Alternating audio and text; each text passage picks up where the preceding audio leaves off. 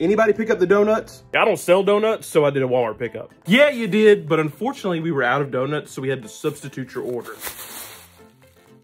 This is toilet paper. Hmm, yeah, but it is round with a hole in the middle, so. You've really got to get that Walmart pickup thing figured out. You're one to talk. Nobody even uses Target Drive Up. Yeah, because people actually like shopping in my store. They get lost for hours sniffing candles and looking at storage cubes. People get lost in my store all the time, you know? Sometimes they sleep there and have a baby in the middle of the night. I thought that was just a movie. Dollar General, do you have pickup? Oh yeah, you go pick up tetanus if you come around here. I'm sorry guys, am I late? Whoa, who are you?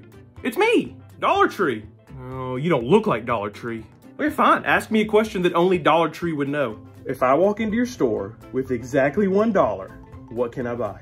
Yeah, about that. You're gonna need another quarter now. Unbelievable. Get out of here. All right, next order of business. DG, are your customers getting used to self-checkout? Oh no, they've been doing that for years. But back then we called it stealing. Uh, howdy y'all, I'm new here. Does anybody got a pen that I could sign in with? I have 50.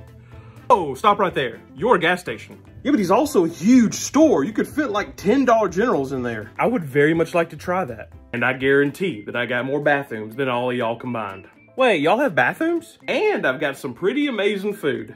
Hey, you know, I used to serve food. I'm sorry, how is he still alive? We called it the K Cafe, and we served up some piping hot Little Caesars pizzas. yeah, great idea, because those are so hard to find. okay, says the guy with the subway. Look at that, the doctor's here with your meds. no, I'm just attending the meeting. I'm not so sure you belong here either. No, I belong. Yeah, I'm a pharmacy, but I also sell cigarettes and booze. Oh, nice. Well, why didn't you say so? Welcome to the club. Okay, well, I've got an unlicensed pharmacist in my parking lot right now, and y'all don't see me going on about it.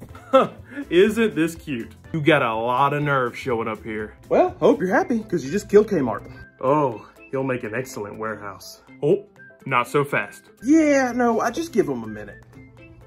All right, well, I don't have time for games. I'm back.